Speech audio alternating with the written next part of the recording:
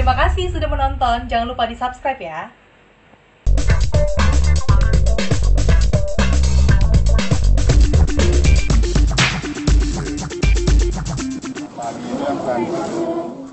Wakil Bupati Kabupaten Padang Lawas Haji Ahmad Zarnawi Pasaribu bersama Forkopimda meninjau pelaksanaan vaksinasi massal yang digelar PTP Nusantara 4, PT Karya Agung Sawita, dan Gabungan Pengusaha Kelapa Sawit Indonesia atau GAPKI bekerja sama dengan Dinas Kesehatan Padang Lawas.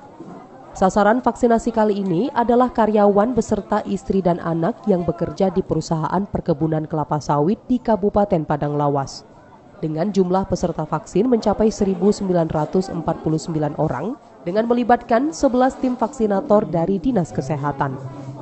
Menurut manajer kebun PT Karya Agung Sawita, dengan diselenggarakannya vaksinasi massal ini diharapkan mampu mendorong laju pemberian vaksin dengan tepat sasaran yang menyentuh langsung kepada karyawan perusahaan.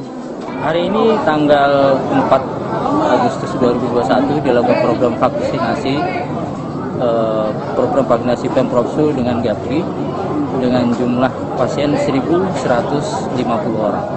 Agar selesai program vaksinasi ini dalam satu hari ini, maka dilibatkan 8 orang tim uh, dari puskesmas yang ada di sekitar perkebunan kebun kas uh, Sementara itu, Wakil Bupati Padang Lawas Haji Ahmad Zarnawi Pasaribu memberikan apresiasi kepada perusahaan dan berharap dengan diadakannya vaksinasi ini mampu menekan angka peningkatan penyebaran COVID-19 di Padang Lawas sekaligus memberikan rasa aman dan nyaman bagi karyawan untuk beraktivitas dan melaksanakan pekerjaan. Kami sangat mendukung uh, adanya agenda ini dengan dukungan penuh dari teman-teman dinas kesehatan puskesmas ada 11 puskesmas yang terlibat langsung uh, karena di titik ini uh, insya Allah akan dilaksanakan vaksin massal uh, sekitar 1.150 orang.